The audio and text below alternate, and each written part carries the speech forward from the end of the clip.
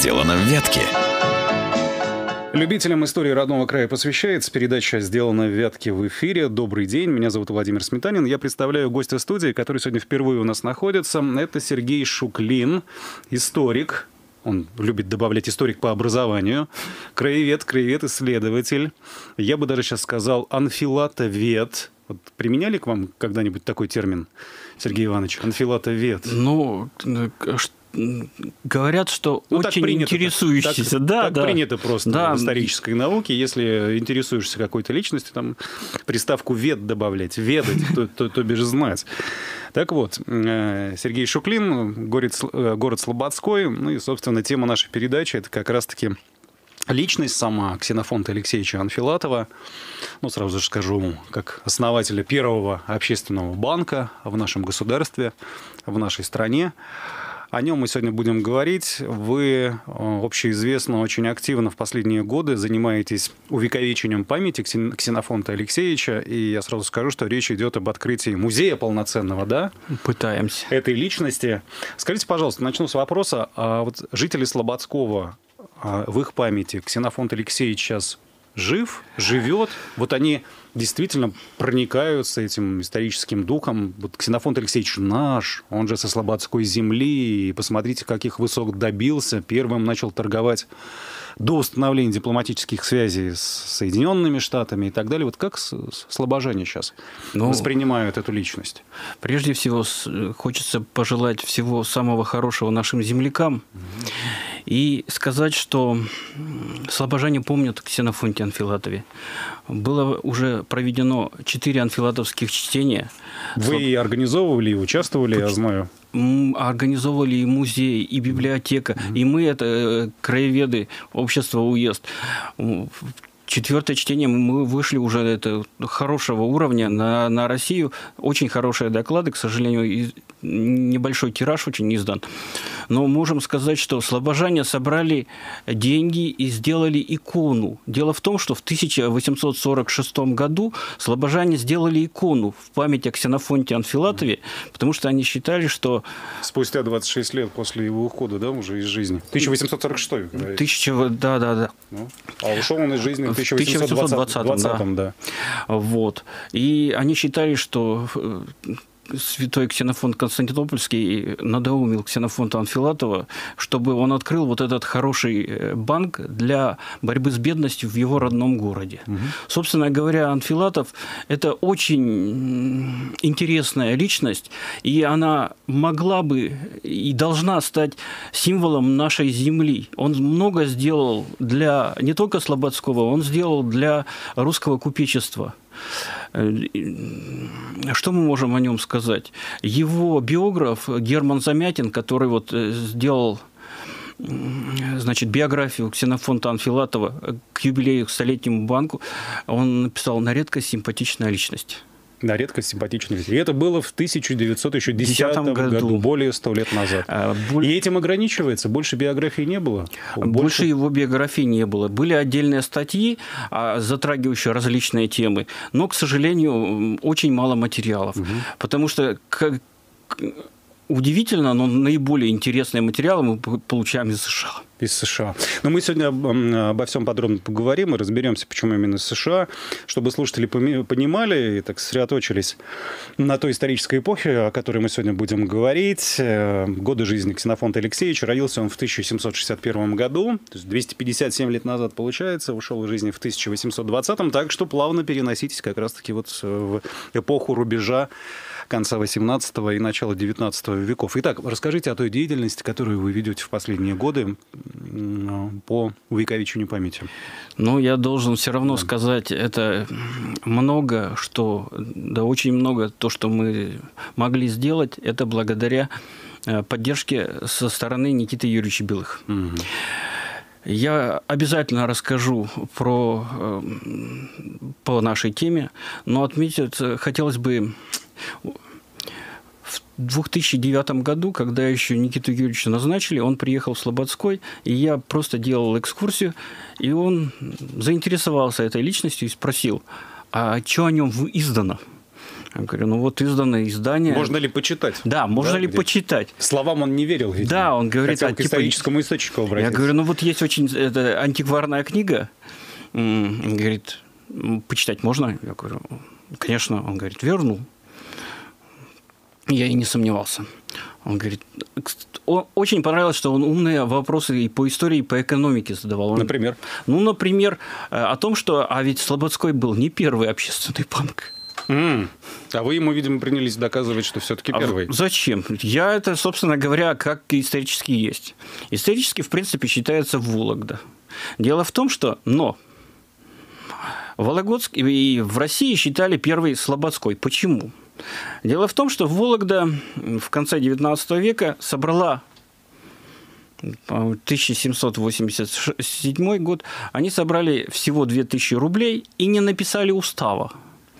И тогда исполнительная власть эти деньги очень быстро, это, так сказать, приходовала. Более того, путешественник, который путешествовал по Вологде, город Вологды, он вообще о том, что в Вологде есть банк в 1797 году, он даже не знал. Он описывает все. Но о том, что там есть банк, он ничего не знает. Ну, какой-то был незаметный, неприметный, да?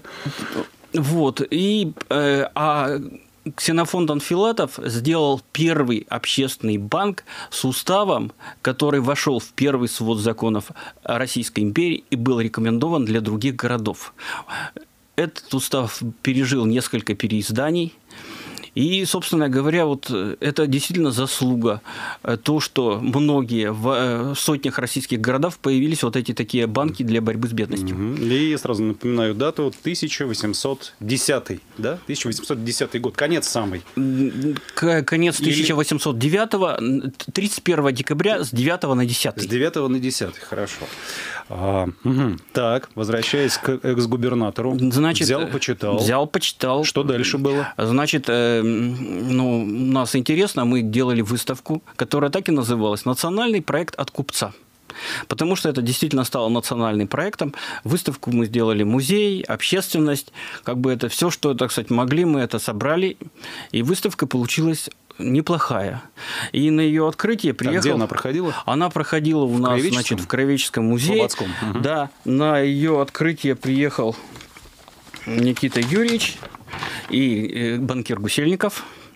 Значит, ну, у нас и ну, чтобы просто похвастаться, по, на Интермузее за 1000, 2013 э, год выставка «Национальный проект от купца», которая шла всего три месяца, была признана победителем. Так расскажите о ней подробнее, чтобы было понятно. Ну, это... О чем идет речь? Что же Интер? Это, это Между... выставка, которая... видимо, да? Да, но мы рассказывали о результатах и о том, что мы сделали. Угу. То есть показывали это. И дело в том, что ну, там были собраны экспонаты, там мы сделали, как выглядело, так сказать, это, ну, как э, э, э, в банке. Атмосферу банка. Да, да, да. Интерьер, да. интерьер банковский. Да. Хотя, конечно, это, так сказать, очень сложно было mm-hmm. сделать, потому что это все-таки церковное здание, но мы старались, и это, э, что-то у нас получилось. Mm-hmm. И вот Никита Юрьевич сказал следующее. Вы сейчас прям берете вот. публикацию и да. читаете, что вот было здание написано смотрю. в 2013 году. Губернатор уверен, что необходимо сделать имя Ксенофонта Анфилатова почитаемым во всей России. Даже так. Значит, губернатор Белых в Слободском принял участие в торжественном мероприятии, посвященном 250-летию со дня рождения Ксенофонта Алексеевича Анфилатова, основателя первого в России городского общественного банка. В здании, где размещался Слободской общественный банк, сейчас расположены ЗАГС и детская библиотека. Библиотека уже выехала, сейчас там ветеринарная станция. Угу. Это в здании старейшего российского негосударственного банка у нас ветеринарная станция. Зданию сколько лет точно? Больше 200, если? Ему, ну, 1800 это точно. 1800. Ну, по крайней мере, так он значится. Угу. То есть в этом здании тогда оно связано с именем Чайковских, потому что Петр Федорович Чайковский был э, городничим города Слободского. Угу. Связано с Салтыковым Щедрин, с Щедрином, который приезжал к нам и работал, когда приезжал, именно в этом здании, потому что в этом здании было все – кроме казначейства. Такой центр притяжения, да? Да, это Город, была... Городской центр такой. Да. Угу. То есть там это была и управа, и библиотека, и дума, и да все. Вот. И, значит, ну, тут сказано, что... Так, инициатива, идея прозвучала. О том, идея чтобы прозвучала. Почитаемым Анфилатов стал да. во всем. Когда я приезжал к Никите Юрьевичу, он говорит, что будете делать? Я говорю, да, музей хотим, хотя бы четыре комнаты. То есть, вы, то есть вы озвучили, мы хотим музей. Да. Угу. Он говорит, что денег не просите? Я говорю, а что, типа, можно? Он говорит, да все просят. Я говорю, а что нужно делать? Он говорит, в грантовых конкурсах принимать участие. Мы приняли участие. В каком? У нас было, значит, областное. А по, значит, ну там, значит, по грантам условия не по музей. Там можно было на издательскую продукцию.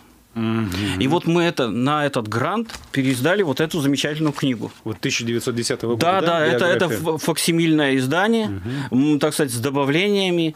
То есть это хотя бы что-то, потому что, понимаете, их э, в природе старых изданий остались единицы. То есть, ну, надо понимать, да. Даже в библиотеке, много прошло. Даже в библиотеке Конгресса США профессор Холм сказал, этой книги нету. А это крупнейшая библиотека угу. И пере, переиздано было каким тиражом? Она ну, очень небольшим, 600 где-то. 600, в общем. Ну, где-то так же. А, столько, насколько хватило суммы этого гранта? Ну, где-то так. Выигранного. Вот. Значит, э, ну, мы ездили, так сказать, ну, ну, это действительно много, потому что это, кроме того, были Безусловно. выиграны командировки в Архангельск и в Санкт-Петербург по этому же гранту. Угу. То есть, э, чтобы можно было ознакомиться с материалом. Города, где работал непосредственно. Да. Ефилатов. Вот. Губернатор принял участие в открытии выставки презентаций. Э, обращаясь к присутствующим, Белых сказал, Ксенофонт Анфилатов – уникальный человек, который не только первым в России наладил торговлю США, но и по всем правилам и регламентам открыл в Слободском первый общественный банк. Про Анфилатова можно сказать – что этому человеку было очень близко современное понятие социальной ответственности. По его собственным словам, Ксенофонт Алексеевич Анфилатов очень хотел сделать благо для города Слободского, который дал ему образование, первые навыки торговли, принес славу и богатство. Хорошо, чтобы чтобы и ныне предприниматели, банкиры, активно известные люди могли сказать такие же слова про свои родные места в Кировской области – должно быть ощущение, что не только город и страна должны сделать что-то для тебя, но и ты, достигнув каких-то высот, мог помочь своему региону и своей стране. Это сейчас особенно важно, сказал он. Ну, это и тогда, и действительно и сейчас в настоящем времени. Вот. И в этом году, и в будущем, надеюсь, тоже будет важно. Потому что взаимопомощь, вот это основной угу. принцип общественных или банков для э, вот таких банков. Угу. О нем это, так сказать, э, его друг я думаю, и присутствующий банкир Григорий Гусельников выразил интерес и сказал, что, в принципе, он поможет если будут создавать. Но это было сказано так невзначай или прям Нет, это было специально заострено внимание? Это было опубликовано, а. так сказать, это, это э, даже Никита Юрьевич это написал. Угу. Вот. А помощь тогда не конкретизировалась? Что Нет, за помощь? Э, вопрос, значит, возникал, а где? Дело в том, что здание было на балансе города, его надо было ремонтировать, хотя бы крышу. Угу. Ну, для того, чтобы отремонтировать, нужно было вкладываться, а у города денег не было. Ну, вы подсчитывали примерно, сколько Там это подсчитывало было его передали в, э, в управление э, значит, имуществом, и его э, сделали ремонт. Ремонт закончился где-то в середине, конце 1000, 2015 года. Угу. То есть, значит, это вот сделали. И потом Значит, возникает... На какие деньги-то был сделан ремонт? Областной. Областной. Так Но дело в том, что... Область это... помогла? Да, область фактически делала, потому что это управление имуществом. Угу. Более того, там хотели вот именно помочь сделать музей. Я могу процитировать. Там есть у меня... Процитировать кого? Тоже кого-то вот. из, из руководителей? Да. Угу. Пожалуйста. Музей, это от 12 октября 2015 года. Угу. Музей банковского дела в Слободском все же появится. Пока концепция проекта еще разрабатывается, после этого область приступит к поиску инвестора, который реализует идею. Об этом сообщил Роман Береснев, министру юстиции. А вот. Роман Береснев об этом сообщал, потому что там Потом... ЗАГС. Да. ЗАГС находился и на тот момент, а того... а ЗАГСа у нас в ведении Минюста. Да. да. И он, собственно говоря, это музей должен раскрыть феномен э, значит, нашего купечества, который был известен по всей России. Это уже наш известный э, значит, историк Михаил Сергеевич Судовиков. Судовиков. Угу. Ныне вот. руководитель да, областного да, краеведческого да. музея. Угу. Вот. Тут можно много рассказывать, но интересно другое. Э, Центробанк. Э, я рассказываю только то, что это знаю приезжали, и у них была концепция, это есть публикации, угу. о том, чтобы создать по России опорные э, пункты по пропаганде финансовой грамотности. И Слободской для этого ну, очень неплохо. Этому, да, уделяется в последнее время много внимания. И да. денег выделялось, угу. и, так сказать, это... И вот Никита Юрьевич, похоже, так сказать, это агитировал за это. Зацепился за эту тему, да? Ну, по крайней мере, говорится. они приехали. Угу.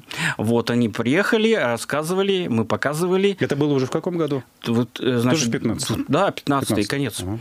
Значит, более того, э, вы знаете, что э, кандидатом в депутаты Слободской думы был Григорий Гусельников. Да.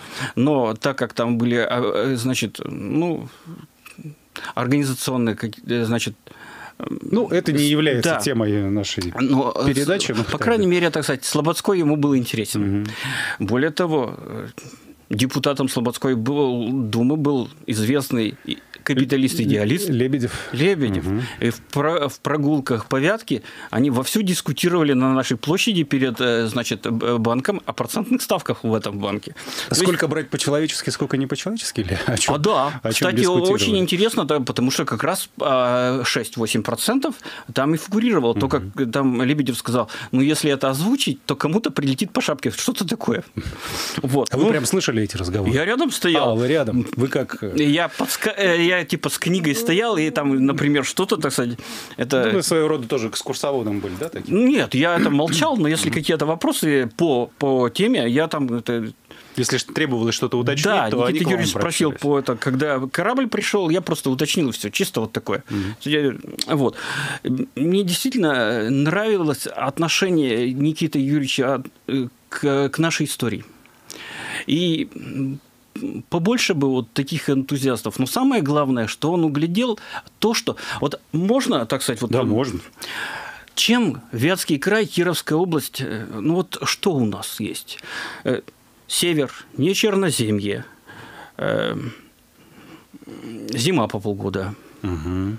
Полезное ископаемое, золото, нефть, алмазы ищут. С этим туго. Нашли только глину, песок, торф и низкосортную древесину. То есть все задатки депрессивного региона, который он сейчас и является. Ну, депрессивным, наверное, наш регион не называли сто лет назад. Более 200 того, 200 лет назад. Более того, э, вы не поверите, но э, он был один из центров ремесленничества. Каждый десятый, более чем десятый ремесленник России был вятский. 10%, 10-28. За счет чего? Да, родина Капокорня тут же вспоминается. Да? А откуда? Да? Откуда Макаров мог mm-hmm. сделать? Если бы не было доступного кредита, они бы с голоду померли. Именно доступный кредит, который вслед за Анфилатовым появился во всех уездах Вятской губернии. Ну, принято считать, что не во всех, но в крупнейших точно. Во всех. Во всех. Э, во всех. Но самое интересное, что даже в деревнях появилось подобное, так сказать. И вот, например, Федор, Федора Веретенникова банк. Угу. У меня есть эта цитата, но она довольно-таки, так сказать, распространенная и очень хорошая. Потому что э, основали общественные банки. Чем они вообще отличались? Вот у нас все банки сейчас коммерческие, правильно? А коммерческий банк это основное это получение прибыли, угу. желательно сверхприбыли, потому что это акционерное, это нужно, так сказать, это акционеры. А общественные банки, они немножко другие. И вот когда мы говорим о том, Анфилатов уже так пишет, что по, по, по примеру различных иностранных, которые есть в иностранных землях. Но какие? И вот... А у вас есть конкретный пример, я да. знаю, да. Собственно, откуда была взята идея это первого общественного да. банка, который появился в городе Пожалуй, Слободском? Э, больше всего уставные документы и принципы соответствуют первым банкам, которые появляются для борьбы с ростовщиками в Италии, конец 15 века, это Монтепай. То есть горы благочестия, которые были а, организованы монахами угу. для борьбы с ростовщиками. Вы знаете, что ростовщики это не очень самое хорошее, так сказать, их считали грешниками. Ну а и сейчас слово ростовщик является, ну, скорее больше ругательным каким-то, в негативном. А его нету сейчас. воспринимается. А его Нет, сейчас... в быту-то в, в быту есть. В русском-то языке оно есть. А, а в законодательстве, его нету. Нет, да. Более того, я вот даже... Поставщик, то есть деньги в рост дающий. Дело в том, что... Под э, процент. Вот, цитата из учебника для экономических вузов. Так. Чем же тогда ростовщик отличается от банка? Авторы учебника по банковскому делу под редакцией ОК Лаврушина считают, что, цитирую, ростовщик перестает быть ростовщиком, как только кредитные операции, выполненные им, в совокупности превращаются в систему. Это значит, Мне сейчас сложно сходу переварить. Я сейчас не, не понимаю, чем это отличается от финансовых кредитных учреждений. Самое интересное, да. что а, вообще по ростовщикам сейчас этой дискуссии нету. Раньше mm Э, ростовщик – это, мягко говоря, не самая уважаемая профессия была. Мягко говоря, да. Более того, офицерам, например, запрещалось э, жениться, если дочь была э, дочерью ростовщика. Угу. Более того, ну, вот в Брагауза Ефрона сразу ясно, кто такой ростовщик. Все, почитайте. Угу. А когда мы читаем современную энциклопедию, э, Википедию, это что-то с чем-то. Это Просто почитайте. Хорошо. И самое интересное, что в примере как ростовщиков они приводят православные монастыри. Ой. Единственный пример. Причем следующим пунктом идет, что в, в трех из четырех религий это считается смертельным грехом логика. Это что, монахи так грешили или что-то такое? Или как-то там немножко, так сказать, это... Сергей, сейчас затрагиваем, видимо, очень такую щекотливую тему, которая, опять да, да, да. не является основной да. в нашем сегодняшнем Значит... повествовании. Я хочу все-таки знать, вот э, не хочется, конечно, говорить, чем дело кончилось, да, но я так понимаю, что с экс-губернатором-то все движения э, в этом отношении только и связаны. В последние пару лет некая стагнация у вас? Ну, я немножко дальше могу про ну, давайте, пройти. Давайте, вот у нас есть э, пара-тройка минут до перерыва, затем Дело в том, что значит, э, Центробанк э, попросил сделать смету угу. и экспозиционку. Я надеюсь, что я никого не подведу, потому что это дело отправлено в архив, но сумма, которая была, значит, озвучена, составляла 27 миллионов. Это, на ваш взгляд, много? Мало? Это я считаю много, потому что я и Еще раз, на, на что напомнить? Ну, на это? все здание, чтобы на... его сделать так... Но я считал, что можно и меньше. 27 миллионов на то, чтобы... Сделать полноценный музей со всеми так угу. современный. Это только ремонт или, или экспонат? Экспози... Это... Ну, как бы это, там света, смета. смета. Но меня это другое удивило. Взятку, которая 27 миллионов. Вот меня, я из-за этого только, так сказать, это, это озвучиваю, потому что не хотелось бы, чтобы из-за хорошего, так сказать, дела хороший человек пострадал. Может быть, это, конечно, версия неправильная, но цифры совпадают, даты совпадают. Эм, очень обидно было бы, если бы... Потому что система общественных банков, это действительно была пара, палочка-выручалочка для нашей области. Угу. Ну, мы чуть позже да. этого коснемся обязательно. Итак, а, в последнее время вы никоим образом не выходите на руководство области? Нет. Или нет. выходите? Нет. Нынешний ну... губернатор Игорь Владимирович, вы приглашали его, проводили для него экскурсии? Нет, э, дело в том, что э, мне очень хорошая информация пришла из США, из э, Санкт-Петербурга. Mm-hmm. Я просто архивы сейчас, это так сказать. Но мы делаем грант президентский mm-hmm. о том, чтобы, значит, все-таки сделать музей там, на, так сказать, ну, хотя бы на тех площадях, которые еще есть. Чтобы можно было это, так сказать, показывать, рассказывать, а там, может, кто его знает что. Вы сейчас имеете полную возможность обратиться непосредственно к руководителям различного уровня и озвучить в чем же нужна вам конкретная помощь? Ну, нам прежде всего хочется обратиться к предпринимателям, угу. к историкам. Просто... Э, вот конкретно расскажите, что вам нужно на данном этапе? Содействие. Денег, денег говорите, деньги Содействие. нужны, сколько, столько. Гарантийные письма для того, чтобы, так сказать, вот что и им это интересно, и они готовы, например, что-то, так сказать, профинансировать. Суммы любые, какие, так сказать, удобно. Потому что есть очень интересные задумки, по той, по той смете 27 миллионов? Да нет, конечно, нет? так сказать, гораздо меньше. Гораздо потому меньше. что, в принципе, сметы были разные. Угу. То есть это, это было по максимуму. Угу. Вот, насколько я понимаю, потому что не я делал.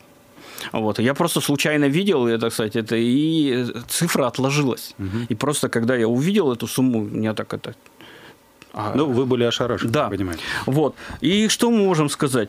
Гаран... Э, вот есть очень хорошая у нас э, э, толковые бизнесмены, толковые ну, значит, представители банков. Действительно есть. Действительно есть, что? которые интересуются историей. Хорошо, мы сейчас сделаем небольшую паузу. Я напоминаю, что мы беседуем с Сергеем Шуклиным, историком, краеведом который специализируется на жизни Ксенофонта Алексеевича Анфилатова, об этом легендарном деятеле, предпринимателе, как бы сейчас да, выразились, мы подробнее поговорим после небольшой паузы.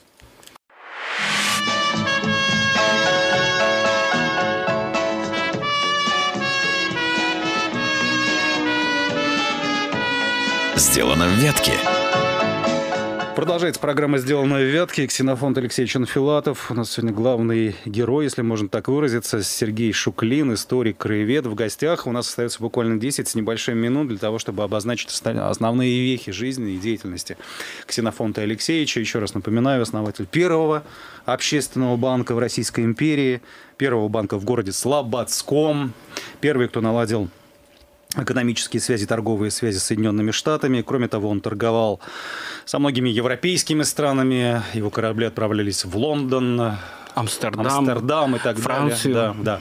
Вот давайте сейчас основные моменты для так. того, чтобы наши слушатели действительно поняли а, то, что это личность, масштаб, который еще может быть, и не, недооценен в полной мере, да. Современниками я имею в виду. Полностью согласен, что он действительно недооценен. Я кратко очень расскажу о том, что у нас обычно еще э, просто Ксенофонт Анфилатов, на чем он сделал деньги – Прежде всего, он из крестьян, которые занимались извозом. Это удивительная, конечно, история. И... Государственных крестьян, да? Да, государственных. А у нас не было крепостных фактически. Э, на нашей территории, да. Вот. Они занимались извозом. Это дорога на Сибирь э, торговали меха, водка, различные припасы. Зерно, зерно рогожи, пенька. да, да, но в Сибирь в основном все-таки шло жизненные припасы и водка. Будем так говорить. оттуда меха. Ну, достаточно сказать, что, например, первоначально у местного населения за медный котел можно было набить этот котел э, шкурами чернобурки. А шкура чернобурки тогда стоила здесь, например, как лошадь. Вот так. А, ну, а если это, так сказать, не, не очень казистая лошадь, то и несколько. Хорошо, дальше чем так, занимались? Дальше, значит, он занимался, э, значит, торговлей в Сибирь, э, и э, по обету они построили в Шестаково великолепный храм. Но Шестакова это, надо, это родина? Это родина, да, семья Анфилатовых. Угу. Вообще, эм, тут можно, можно долго рассказывать, но я просто основные вехи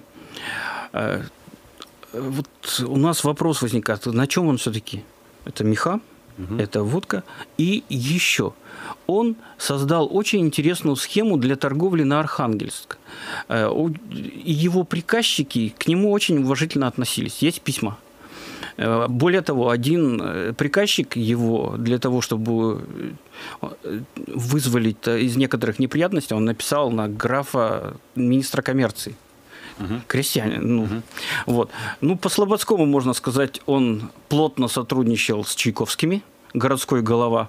Значит, тут, ну, тут целый рассказ надо, потому что это, конечно, не. Увы, времени нет. Да. да. А основное, значит, э, почему же все-таки он решил отправить корабли в США? Сейчас, тем более, появилась информация, ну, да, вы уже упоминали неоднократно в процессе да. нашего разговора, Дело в том, что, что архив Соединенных Штатов тут как э, источник тоже Дело может в том, быть что, задействован. Значит, в вопросах истории за номер 6 за, номер 6 за 2014 год появилась статья из Шутина, это сотрудник РАН, о том, что Анфилатов может быть и не первый. Угу. Под сомнение поставлено, да. да? То есть нам отвечать надо в любом случае. Вот. И что мы можем сказать? Ну, вопрос поставлен правильно. А, не потому, что Анфилатов был не первый, а потому, что действительно те э, документы, которые, письма, вернее, газетные вырезки приводит он, вот, в принципе, они имеют место. То есть дают основания усомниться. Да. А был ли он первопроходцем? Но самое интересное, mm. что ранее Анфилатова, экспедиции 1806-1807 годов, был Анфилатов. Дело в том, что просто эту экспедицию стараются, похоже, не вспоминать. Вот знаете, есть такое выражение «скелет в шкафу». Слушайте, даже, по-моему, если Википедию почитать, там не, не говорится. Нету, это ее нету. нету. Э, более того, более того, э, э, это, так вот, в российско-американских отношениях, похоже, есть не только скелет, а 200 18-тонная бригантина с экипажем 20 человек. Потому что это Под бригантина названием, напомните? Святой Михаил. Святой Михаил. Считается, да. что он пришел в Бостон в 806 году, но в американских источниках, а это переписка первого консула Левита Гарриса с госсекретарем, есть упоминание о том, что э, значит, я просто не, не буду... Ну ничего, сейчас не обязательно значит, прежде всего, он пишет, что э, значит, снова готовит три корабля для отправки в США один архангельский купец. То есть снова. Когда же это и произошло? И следующая фраза. Значит, император благодарит э, президента США значит, за понимание в деле святого Михаила. Угу. Что же за дело такого произошло? И тут мы сталкиваемся с пиратами и американцами на полном серьезе. Значит, для того, чтобы их обижали американцев тогда, молодую республику, тогда все, кому не лень. Ну, извините, это так было. За 1806-1800... В общем, э, в начале 19, 19 э, века их захватывали англичане, французы, датчане, те же пираты. Пиратам они даже дань платили в какой-то мере, и очень много. Угу. Тогда, тогда как берберийские пираты увеличили дань, американцы отправили туда флот, э, эскадру. Ну, в общем, и вот, значит, произошел инцидент э, с э, э, фрегатом «Филадельфия», который эти пираты захватили, и вмешалось русское правительство. Угу. И началась переписка между Томом Джефферсоном и Александром Первым. Угу. И вот святой Михаил та же часть этой эскадры захватывает русское судно «Святой Михаил». Я могу подробно это рассказывать, потому что... Это откуда, еще раз напомните? Это материалы взята? Музея военно-морского флота США. США? Да. Очень интересные материалы, кстати. И, в общем, а как они вообще а мы доступ, ними, доступны? -то? Мы связались По с сотрудниками. Да, да, да. А. Когда им ставишь хороший вопрос, они э, э, отвечают. Это сотрудничество, оно бесплатное? Да. Они просто это, файлы переслали, угу. и вот мы сейчас, так сказать... Э, в общем, что... Слушайте, никогда бы не подумал, что в архив зарубежного государства можно отправить там запросы. А, это книги, это, это документы. Придет, и ничего не надо за это да. платить. И самое интересное, Ладно. что значит, что произошло. Значит, э, эскадра захватила русское судно под флагом. В бумагах значится, что греческое. Ой хотя под русским флагом. И прям там все греческой наружности, весь экипаж. И экипаж, говорит на чистом греческом. Экипаж греки, но капитан, который в бумагах значится Рига, говорит, что он русский. Более того, по закону 1797 года, для того, чтобы был э, русский флаг, нужно было, чтобы и капитан, и владелец были русскими. Тогда можно было так сказать. И вот тут возникает вопрос, а кому принадлежало это, это судно? И, и что произошло дальше? Угу. В общем, преследовали его знаменитые англи... Э, американские фрегаты. Это, э, значит, Constellation, то есть созвездие. Угу. Это музей военно-морского флота США в, э, в Балтиморе. Он есть. Угу. И знаменитая Конституция, музей военно-морского флота США в Бостоне. То есть мы можем показать, какие корабли преследовали русское судно. Ну, еще Аргус, капитан Исаак Хал. В общем, они задержали. На что капитан заявил, что он русский, и что они оскорбляют русский флаг. Что же произошло? Американцы заметили судно, которое шло в 5-7 милях от э, Триполи, и задержали его. Как это? Капитан а, э, русского судна оскорбился. А флаг-то какой был, кстати? Русский. Русский. Вот. Угу. В общем, как говорится, тут началась мощнейшая дипломатическая переписка. Русские, значит, э, войти в сношение с командующим той эскадры и отклещти от тех непозволительного геройства, которое они проявили. В общем, в сношение они вошли, и появилась объяснительная командующего этой эскадры, что же произошло. Самуэлия Баррона, она есть, э, значит, это с, с пунктами, подпунктами и прочее. В общем... Сергей Иванович, минута, чтобы да. закончить эту историю.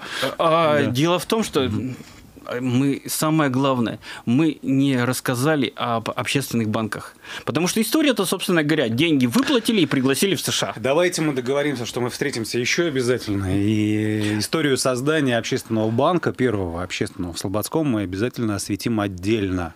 Расскажем э, уставный капитал, устав, э, под какой процент, принципы, значение.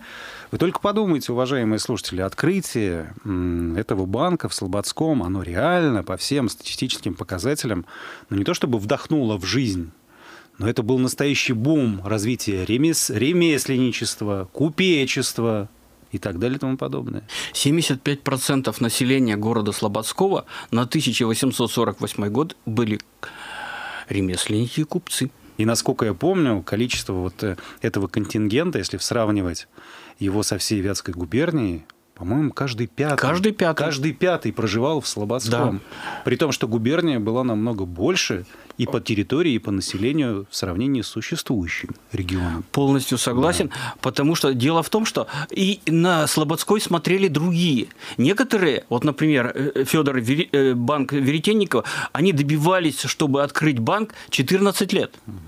А другие, вот, например, Веретенникова в Вятке, Кардаков в Котельниче, вот э, жертвователи были, так сказать, это небольшие суммы, 25 тысяч хватало, потому что устав был разработан очень интересно, но это отдельная история. Отдельная история. Отдельно вот. И самое главное... Я, Сергей, прошу прощения, я хочу еще раз, чтобы мы в конце нашей беседы сегодняшней, увы, время поджимается, еще раз обратились к заинтересованным людям, для тех, кто хочет осознать, что представляет собой личность Ксенофонта Анфилатова, все-таки не остались равнодушными и поучаствовали в судьбе музея, пока еще не существующего. У вас есть сейчас такая возможность? Эм, спасибо. Обратиться, да. Спасибо за эту возможность, потому что действительно мне хочется подтвердить, что Анфилатов – это действительно знаковая фигура для не только вятского, но и русского купечества. И его заслуга, да, можно так сказать, заслуга, что он показал, что купец, предприниматель – это не ростовщик, это не выжига, это, это хороший, нормальный человек, который любит свою, свою родину, малую, большую. Анфилатов, я знаю, всегда подчеркивал, на самом высоком уровне подчеркивал, что он из Слободского, он слобожанин, я там, я местный. Да. И даже объяснил, что банк, он, так сказать, по, по, по, по по чувству привязанности к этому, к родине. Даже небольшой суммы оказалось достаточно для того, чтобы Слободской получил второе э, рождение. И мне кажется, что нужно вспоминать те хорошие э, моменты, то, что у нас было. Потому что плохого у нас и так достаточно. А вот способы борьбы с плохим, с это надо, это, это, это много стоит. И, кстати, Ксенофонд Анфилатов был представлен к награде это кабинет министров был решен, но эту награду он так и не получил. Мы обязательно еще встретимся. Я напоминаю нашим слушателям о том, что историческая программа «Сделана в Вятке» выходит у нас по пятницам в 13.00, периодичность две недели, и, соответственно, Сергей Иванович, через две недели я снова приглашаю вас к нам, и мы подробно обязательно поговорим о том детище, об одном из самых известных детищ Ксенофонта Анфилатова, я имею в виду общественный банк. Спасибо. До свидания. Спасибо. До свидания.